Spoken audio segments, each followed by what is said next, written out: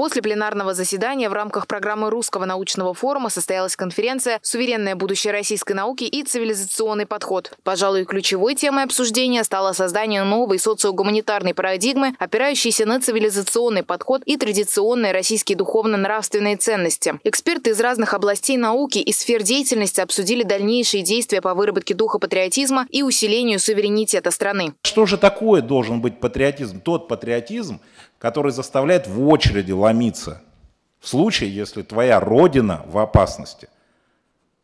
Государство должно быть священно. Государство должно быть сакрально. От этого государства для начала не должно описываться банальным казенным языком в учебниках обществознания. Учебник обществознания не написан для детей. Они ничего в нем не понимают, э, точно понимают, что государство что-то сложное и точно не священное. Ни одного слова об этом нет. А они должны так думать. Современный мир, об этом здесь говорилось, он четко разделен на традиционный мир и нетрадиционный.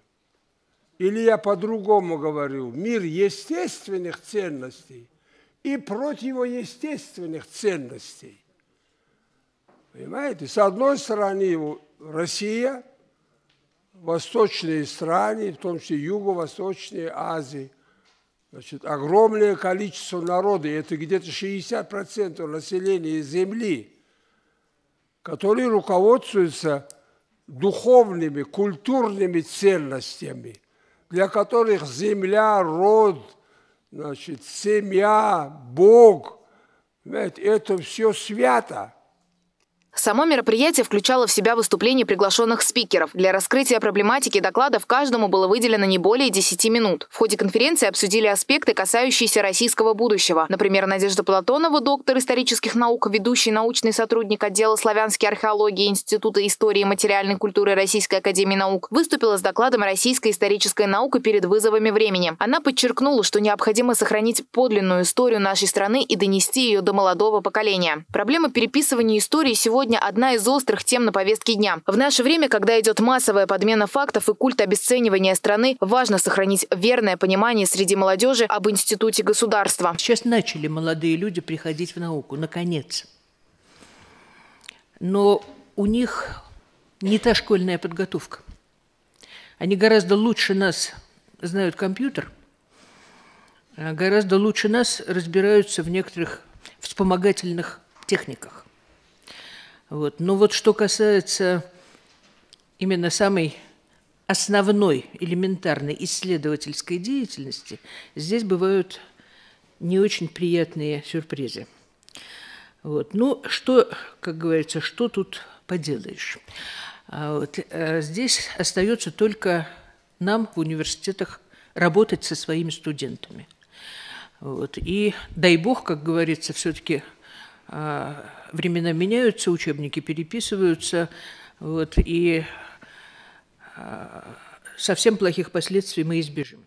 Тему патриотического воспитания подрастающего поколения поддержал член Союза писателей России, руководитель отдела базилиологии Института Царьграда Егор Холмогоров. Он выступил с докладом «Русская и всеобщая история в школе. Проблемы соотношения и синтеза», в котором подчеркнул важность поднятия авторитета нашего государства в глазах школьников. Во время активного использования подростками электронных площадок важно донести до них само понятие патриотизма, исключить влияние информационных войн на неокрепшие умы. И на примере героев нашей страны и Советского Союза выработать любовь к своей стране. Тема влияния России на мировые процессы особенно до 1917 года, она практически обходится. То есть, грубо говоря, скажем, а, в истории России а, мы берем Париж, во всемирной истории это как бы ну, какой-то совершенно незначительный, неважный факт. И так практически обо всем. То есть нам нужен последовательный российцентризм и в отношении самих себя, и в отношении истории мира.